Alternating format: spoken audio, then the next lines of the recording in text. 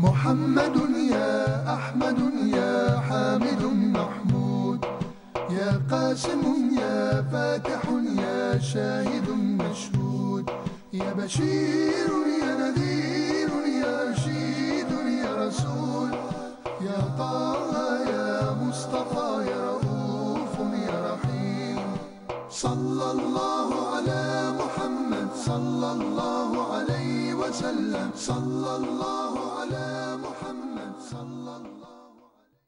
Auzubillahiminashaitanirrajim. Bismillahirrahmanirrahim.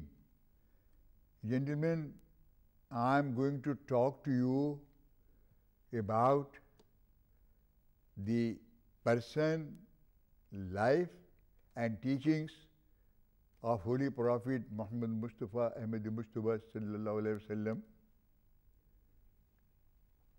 But before I do that, I would like to give short description about his family, about his tribe, Kaaba, and Arabia. I now commence to talk about the background of the Holy Prophet. First, the background. Not that Quraysh and the other pagan tribes were hostile to Christianity. Christians sometimes came to do honor to the sanctuary of Abraham and they were made welcome like all the rest. Moreover, one Christian had been allowed and even encouraged to paint an icon of the Virgin Mary and the child Christ on an inside wall of the Kaaba, where it sharply contrasted with all the other paintings. But Quraysh were more or less insensitive to this contrast. For them, it was simply a question of increasing the multitude of idols by another two. And it was partly their tolerance that made them so impenetrable. Unlike most of his tribe, Varaka could read and had made a study of the scriptures and of theology. He was therefore capable of seeing that one of the Christ's promises, generally interpreted by Christians as referring to the miracle of Pentecost, there were nonetheless certain elements which did not fit that miracle and must be taken to refer to something else, something which had not yet been fulfilled. But the language was cryptic. What was the meaning of the words? And I quote, He shall not speak of himself, but whatsoever he shall hear, that shall he speak. Varaka had a sister named Kutela, who was very close to him. He often speak to her about these things, and his words had made so great an impression on her that thoughts of the expected prophet were often in her mind. Could it be that he was already in their midst?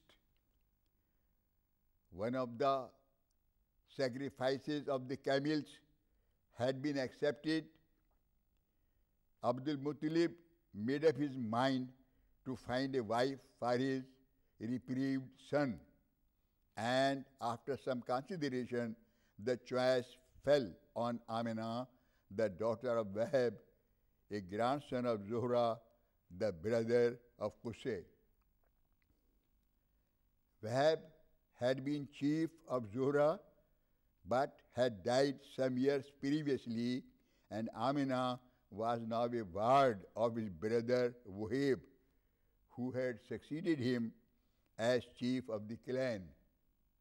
Wahib himself also had a daughter of marriageable age, Hala by name, and when Abdul Muttalib had arranged that his son should marry Amina, he asked that Hala should be given in marriage to himself. Wahib agreed, and all the preparations were made for double wedding to take place at the same time. On the appointed day, Abdul Muttalib took his son by the hand and they set off together for the dwelling of the Bani Zuhra. On the way, they had to pass the dwellings of Banu Asad.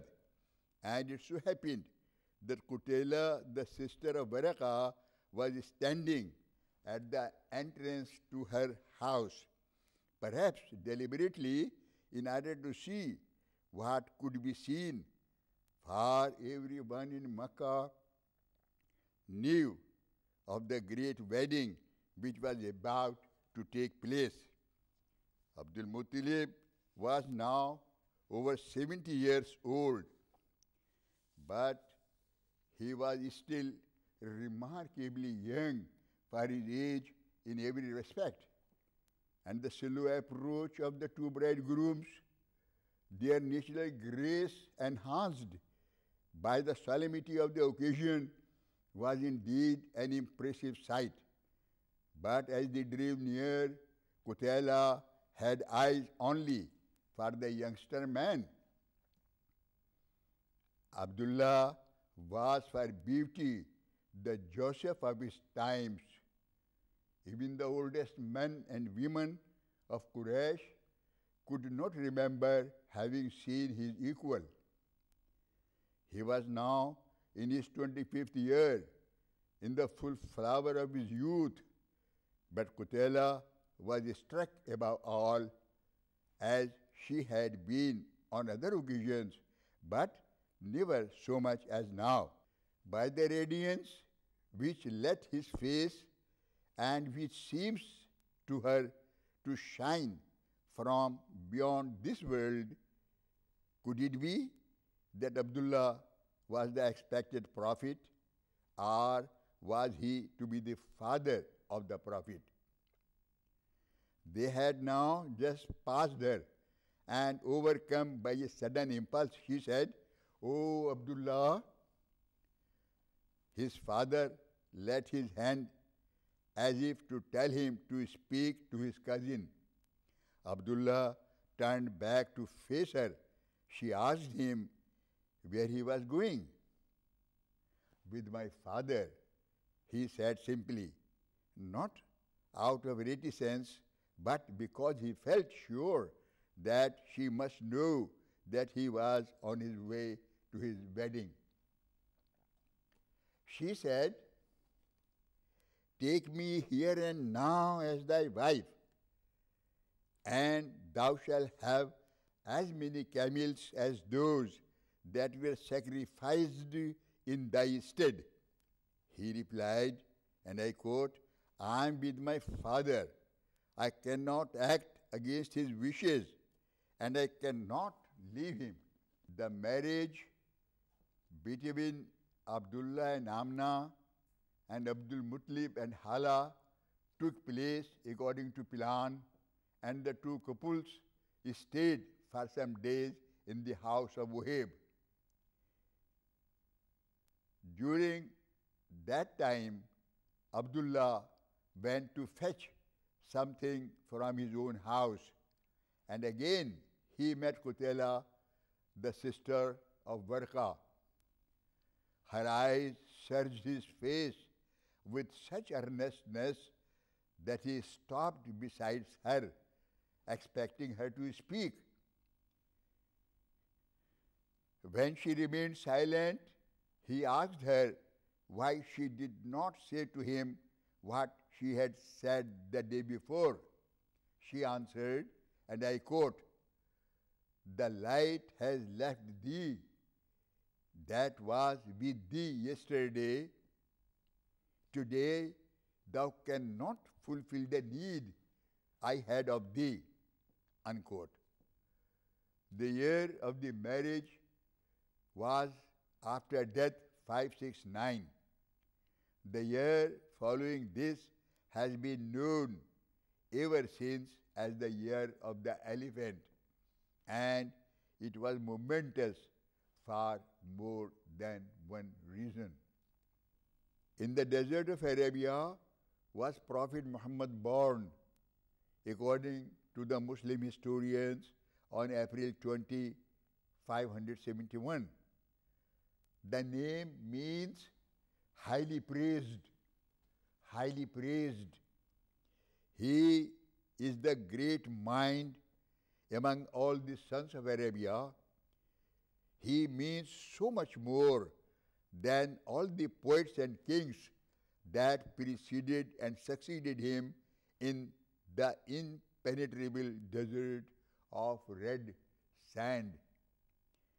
When he appeared, Arabia was a desert and nothing.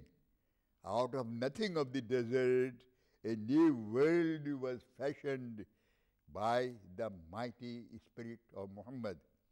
A new life, a new culture, a new civilization, a new kingdom which extended from Morocco to Indies and influenced the thought and life of three continents Asia, Africa, and Europe. But there is another aspect of this problem. Man lives in society. Our lives are bound with the lives of so many